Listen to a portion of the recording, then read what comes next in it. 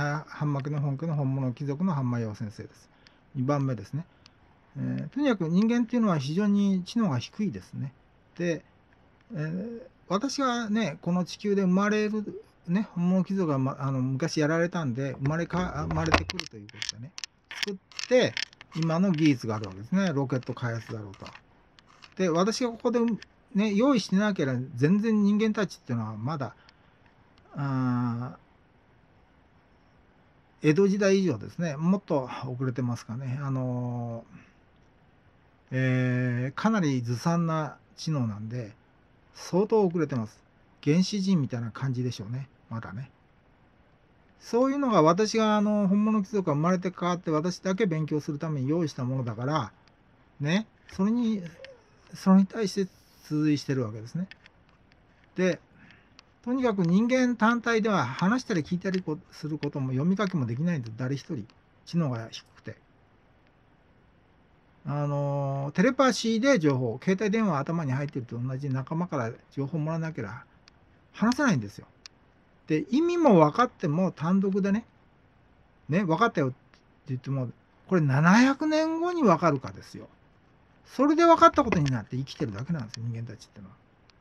だから普通の犬とか猿とかとあんまり変わんないんですよ。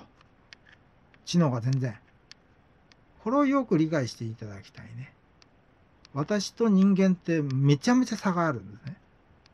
ね。あのー、悪口言ってるわけじゃないんですね。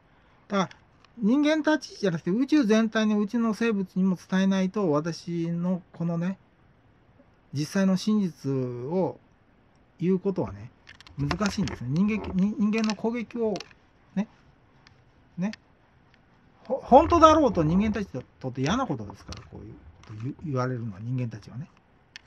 ねだから宇宙生物の力を貸して実際のことを言わせてもらわないといけないわけですね。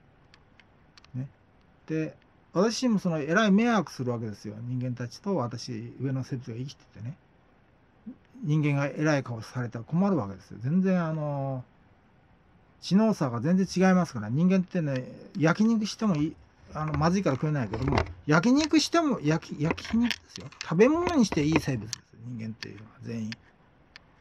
そんなに遅れてる生物にあえ偉くされたらもう上の生物にとって大変でしょ？知能が低いのにね。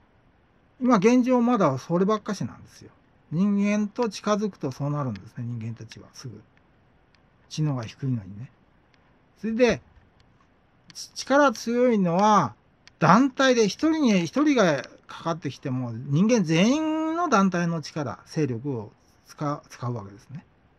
それで頭もそうなんです。ねえー、テレパシーで、ね、仲間から力借りて能力借りて話してくるわけ強い話をする。だそれ外しちゃうともう全くもうパークリンです人間は。ね。ということでね。それで、それをまた借りてないで話してきたとのは、もう、あのー、めちゃめちゃなね、うん、もう妨害ですね、こっちに対してね。あのー、何もできなくなっちゃうわけですね、そういう。あのー、知能をもらってないで来られた場合は、もう全然意味ないですからね。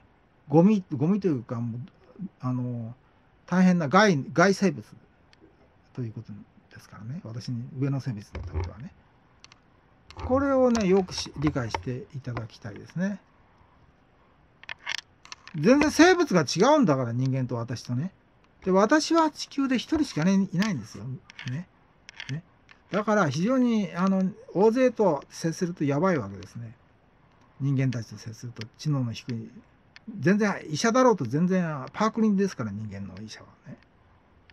ね。私のあの能力って全然高いですからね。ね。ということなんですね。全然違います。人間と私と上の生物の違いはね。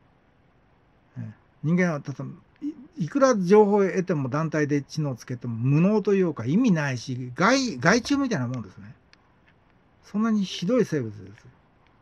ねね、バカにしてんじゃないんですよ。人間たちの事実を、宇宙全体との生物とね力を借りてね正しく伝えてて私がいなければ、まあ、ほったかしておく人間たちで話してたって、宇宙には飛びませんからね。うん、あの私がいるから飛ぶということでね。人間たちの様子も、ね、ばあのバカな様子無能、無能であるというのも、ね、状態は、あの、放映されるわけですね、宇宙生物にね。私がいるということ、上の生物がいるんで、ね、摩擦があったり問題が起きるわけですよ。ね、これに対して上の生物が生きないといけないし、正しく、ね、あの生活していかないといけないわけですね、上の生物としてね。本物貴族、私がですね。ということなんですね。どうもありがとうございました。